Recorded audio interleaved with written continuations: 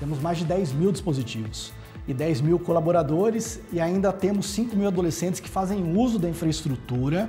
Ransomware é uma ameaça que lidamos constantemente aqui dentro da instituição. Nós lidamos com dados do adolescente, então corremos o risco de vazamento desses dados.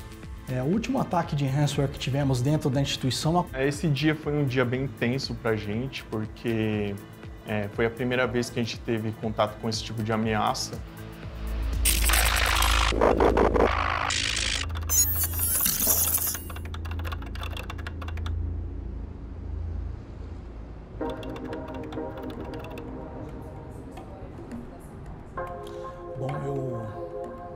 Bom, meu nome é Júlio Sionini, atuo na Fundação Casa há 23 anos, entrei aqui em janeiro de 2000.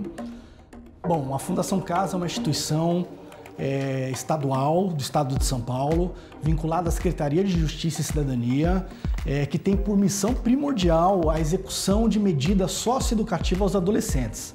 Bom, a instituição ela possui 121 endereços hoje espalhados no estado de São Paulo. Temos mais de 10 mil dispositivos e 10 mil colaboradores é, para a realização de atividade sociopedagógica. Então temos um grande desafio. Ransomware é uma ameaça que lidamos constantemente aqui dentro da instituição.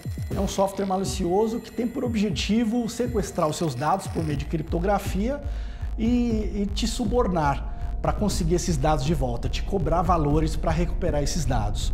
É, o último ataque de ransomware que tivemos dentro da instituição, onde o usuário trouxe um dispositivo comprometido de sua residência e acabou incorporando dentro da nossa infraestrutura, é, o que comprometeu não só ah, o seu dispositivo pessoal, mas também houve comprometimento dos dados armazenados dentro dos file servers dos servidores de arquivos da instituição. Nós lidamos com o dado do adolescente. O dado do adolescente ele é tutoriado pelo Estado e regido pelo ECA, pelo Estatuto da Criança e do Adolescente. Então, corremos o risco de vazamento desses dados.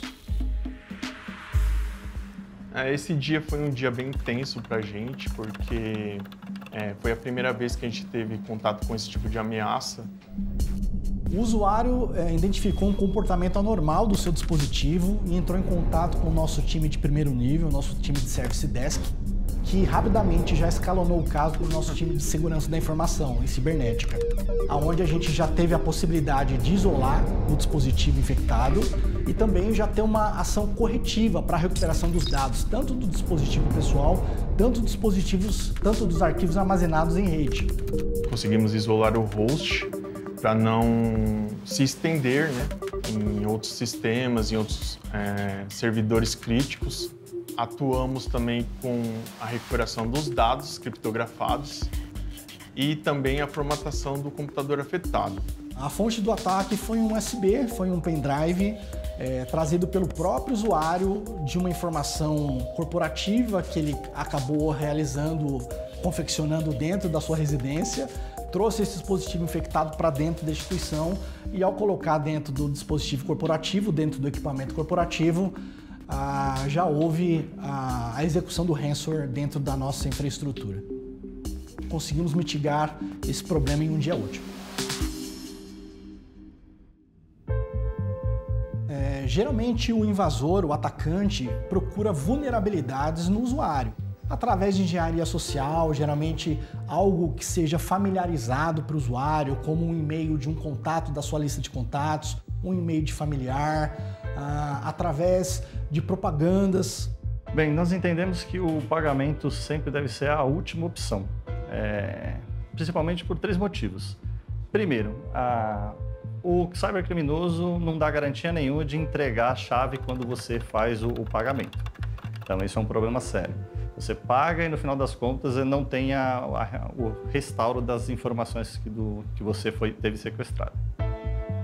Segundo, esse tipo de atividade costuma incentivar que outras sejam feitas da mesma forma, até porque é, o, a pessoa vai ter o retorno financeiro da, daquele tipo de ação. Então, isso no futuro vai ser, servir de incentivo para que ele continue a perpetuar esse tipo de crime. E no final, ainda você corre o risco de compartilhar informações financeiras com um cybercriminoso, que no futuro pode capturar essas informações e usar isso em um outro golpe, algum outro tipo de, de atentado, algum tipo de, de crime no futuro, um crime financeiro.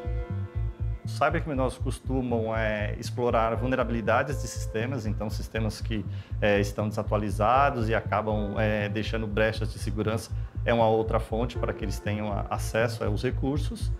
E por fim, existem os sites maliciosos, né, que já são sites infectados com códigos maliciosos que acabam injetando na máquina do usuário um, a informação ou o arquivo corrompido que vai é, permitir o acesso à máquina. É importante a gente manter um ambiente sempre atualizado com soluções eficazes para monitoramento do dado e também a prevenção é, para qualquer tipo de tentativa de ataque ou invasão sempre incentivar a conscientização, as boas práticas de mercado, a popularizar as informações a respeito de segurança da informação e segurança cibernética com toda a sua equipe e também com toda a sua organização é fundamental.